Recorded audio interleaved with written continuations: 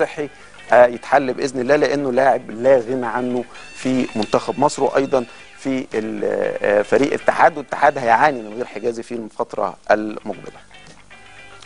أمشي من المنتخب ومن حجازي وابتدي أخش مع حضراتكم في الأخبار اللي بتخص بقى الأندية الكبيرة الأهلي والزمالك وبيراميدز. طبعا بيراميدز خلاص بقى من الأندية الكبيرة اللي بتنافس في الدوري الممتاز وما شاء الله ماشي كويس في الكونفدرالية. فاللاعب المغربي سفيان رحيمي نجم نادي الرجاء بيشعل الصراع ما بين الثلاث فرق الكبيرة الأهلي والزمالك وبيراميدز. طب إيه الحكاية؟ إيه القصة في موضوع سفيان رحيمي وليد أزارو لما جه النادي الأهلي وتألق فتح الباب تماما للعيبة المغاربة إن هي تبقى موجودة في الدوري المصري خاصة إن أزارو لما جه كان جاي من الدفاع الحسني الجديدي وما كانش حد متوقع إن أزارو ياخد هداف الدوري.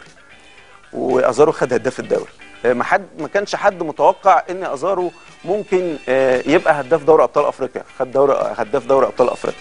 على الرغم إن في انتقادات كتير جدا كانت لأزارو ولكن الراجل من اللعيبة اللي اتحط فيها مبالغ مالية كتيرة فحتى كان بالنسبة للنادي الأهلي لو كان وافق على بيعه كان هيستفيد منه ماديا كتير. فده خلى نادي بقى الزمالك يجيب بن شرقي ويجيب أحداد ولعيبة المنتخبات بالنسبة للمغرب تبتدي تكون موجودة في الدوري المصري. طب سفيان رحيمي من اللعيبة اللي مكسرة الدنيا مع نادي الرجاء سواء في الدوري المغربي سواء في الكونفدرالية سواء في أبطال أفريقيا في الموسم الماضي فعندهم عامل شغل كويس. ولعيب سريع بيلعب جناح يمين ما عندوش مشكلة جناح شمال. في بعض الماتشات بيلعبوه false nine أو راس حربة متأخر لأنه سريع جدا عامل زي محمد شريف كده شوية. فبيدي حلول لأي مدير فني. فاللاعب ده أندية الأهلي طبعا بقياده موسيماني ابتدى يخش في اهتمامه بالصفقة. الناحية الثانية كارتيرون في الزمالك لأنه دربه قبل كده في الرجاء. فعارف اللعيب عامل إزاي. وانتوا طبعا سامعين الحكايات اللي موجودة في نادي الزمالك إن اللعيب الفلاني جاله عرض من الحتة الفلانية واللعيب الثاني جاله من الحتة العلانية وكلام كبير فلازم يدور على البديل.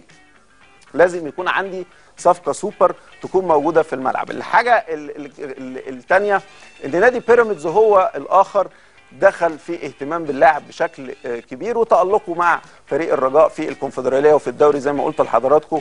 خلى بؤرة الضوء عليه تماما وبيراميدز بيحب يجيب اللعيبة من النوعيات دي عشان هو عايزين يعملوا حاجة سواء في الكونفدرالية أو يحسنوا من ترتيبهم في الدوري الممتاز. لأنه دايما كل سنة بنقول إن بيراميدز هينافس على الدوري ولكن هذا الموسم هو الأقرب للكونفدرالية وده من الحاجات اللي لازم نقولها لحضراتكم. على فكرة النادي الأهلي دلوقتي الفكر الاحترافي بتاعه في اللعيبة عشان كده أنا ذكرت موضوع أزارو. لو ديانج جاله حاجة فيها عرض مالي قوي هيوافق.